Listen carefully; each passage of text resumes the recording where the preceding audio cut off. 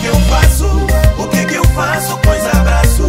Se eu não tenho mais seu corpo pra abraçar e yeah, é pra beijar.